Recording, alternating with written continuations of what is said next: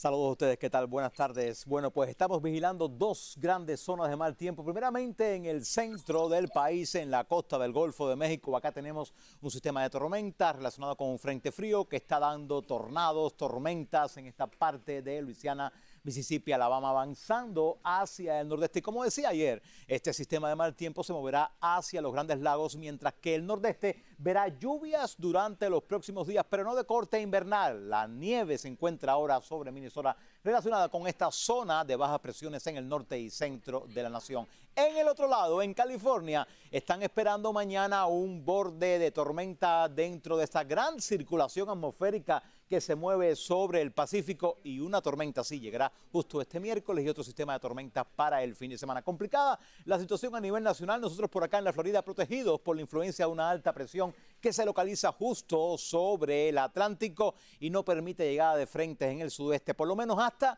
el viernes. El viernes tenemos un alivio a las temperaturas en el sur de la Florida, pero realmente esperamos mucha lluvia para la zona de California, hasta 3 y 5 pies posiblemente de lluvia y nieve en lo que sería el norte de California durante los próximos días y lluvia relacionada con este sistema de mal tiempo para el este del país que se estaría desplazando hacia el nordeste como lluvia y con nieve hacia la zona de Minnesota. Mientras tanto, en lo que sería para los próximos días estamos esperando definitivamente la llegada de este frente con lluvias ya el miércoles al amanecer, sobre todo hacia el sudeste, frente que se moverá hacia la Florida durante este jueves temprano, llegando con un cambio de tiempo a nosotros y también, por cierto, recibiendo esta nueva tormenta invernal mañana para la zona de California. Aquí estamos, complicado el tiempo.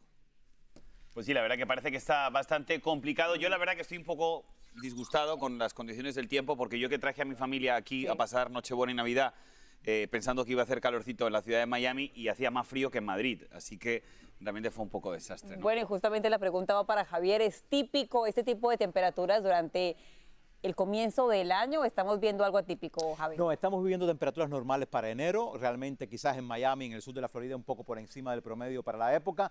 Navidad y Nochebuena fueron dos días excepcionales, donde sí tuvimos temperaturas en muchos casos más altas que en Madrid, Londres, Roma. Sí, pero después que pasó este evento de aire frío, estamos teniendo temperatura solo normal por acá. Un poquito de frío para el fin de semana, por cierto, para tu familia. No, mala suerte, Sábado, desde, desde luego. Tuve mala suerte, un evento histórico que no se veía en casi 50 años, ¿no? Y me Lo tocó vivimos, a mí 40. con mi familia. Pero bueno, lo importante es que estuvimos todos juntos, eso Seguro. por supuesto. Javier, muchísimas gracias. Un placer. Gracias.